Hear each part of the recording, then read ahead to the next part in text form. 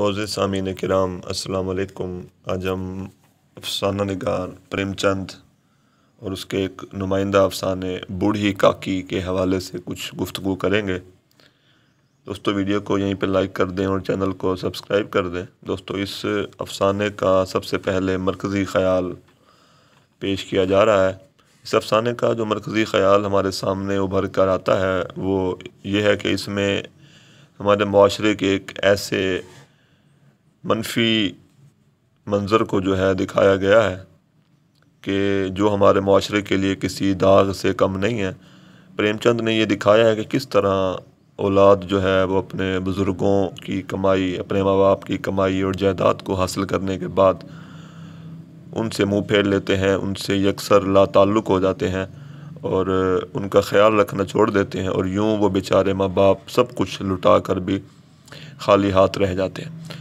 तो अगर इस अफसाने का ख़ुलासा देखा जाए तो कहानी कुछ ज़्यादा पेचीदा नहीं है। सीधी सादी सी कहानी है कि मरकज़ी किरदार जो है वो एक ज़यीफ़ औरत है जिसको बूढ़ी काकी के नाम से पुकारा जाता है। जिसकी तमाम सूंगने जिसकी तमाम हिस्सें जो हैं वो ख़त्म हो चुकी हैं, सिवाय सूंघने की हिस्स हाथ पाँव से वो माजूर है। इसमें सिर्फ़ जायके की चखने की और सूंघने की हिस्स मौजूद है। वो हम वक्त एक कोठड़ी में पड़ी रहती है और हर वक्त जब भी खाना उसको मौके पर या वक्त पर ना मिले तो वो सदा एहतजाज बुलंद करती है और रोती है। इस बूढ़ी का दुनिया में सिर्फ़ एक भतीजा है। उसका घर वाला फोत हो चुका है, उसकी औलाद भी फोत हो चुकी है और वो उस भतीजे जिसका नाम बुध राम है, उसके घर में रहती है। बुध राम जो है, उस बूढ़ी के साथ कुछ ज़्यादा अच्छा सलूक नहीं करता। पहले उसको सब्ज़ बाग दिखाकर उसकी सारी ज़मीन जायदाद पे कब्ज़ा कर लेता है। और फिर बाद में वो बूढ़ी जो है, वो खाने पीने से भी बहुत तंग हो जाती है। बुधराम कंजूस भी है, मगर उसकी तबीयत में कुछ नेकी का मादा भी मौजूद है। इसी तरह बुधराम की बीवी रूपा तेज़ तरार तो है, मगर खुदा तरसी का मादा उसमें भी मौजूद है। यूँ पूरे घर में सिर्फ़ एक लाडली जो कि बुध राम की बेटी है, वो उस बूढ़ी काकी से बहुत मोहब्बत करती है। एक दिन घर में मेहमानों की आमद थी, खाने की तैयारियाँ अरूज पर थी। रूपा जो है मेहमानों में मसरूफ़ थी।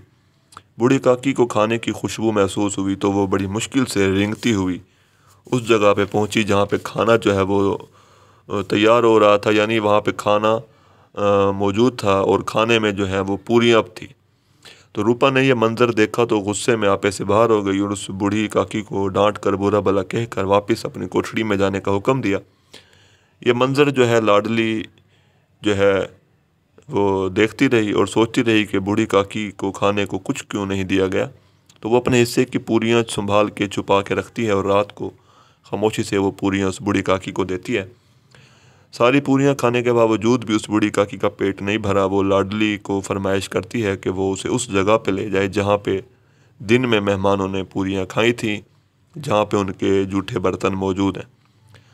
तो वो बुढ़िया जो है जब उस मकाम पे पहुँची तो वहाँ पे बर्तनों में मौजूद पूरियों के टुकड़े और रेज़े जो ज़मीन पे मौजूद थे, वो उसको खाने लगी और वो ये कार्रवाई अभी कर ही रही थी कि रूपा की आँख खुली और वो ये दिल दहला देने वाला मंज़र देख देख कर जो है वो उसका ज़मीर जाग उठा और उसे वो सब कुछ याद आ गया कि किस तरह इस बूढ़ी काकी की ज़मीन, जायदाद जो है उन लोगों ने अपने नाम करवा ली थी और उसका ज़मीर जागा और उसको महसूस हुआ कि वो किस तरह ज़्यादती कर रहे हैं उस बूढ़ी काकी के साथ, जिसकी ज़मीन और जायदाद के बलबूते पर वो ऐश कर रहे हैं, मगर उसी बूढ़ी काकी को पेट भर के खाना भी नसीब नहीं होता।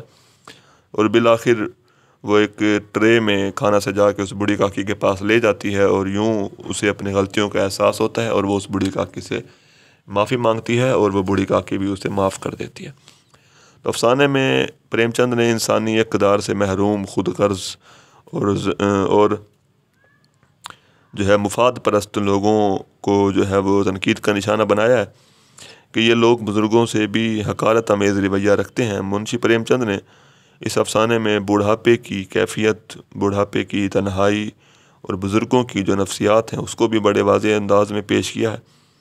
और उसमें एक ख़ास बात यह है कि उन्होंने जहाँ बड़ों को यानी बूढ़ी काकी के भतीजे को और उसकी बीवी को एक ऐसे किरदार के रूप में दिखाया है कि जो कि बुज़ुर्गों का एहतराम नहीं करते, वहाँ उनकी एक छोटी बेटी को एक मुस्बत किरदार के रूप में दिखाया है कि जो कि बुज़ुर्गों से बड़ी मोहब्बत करती है।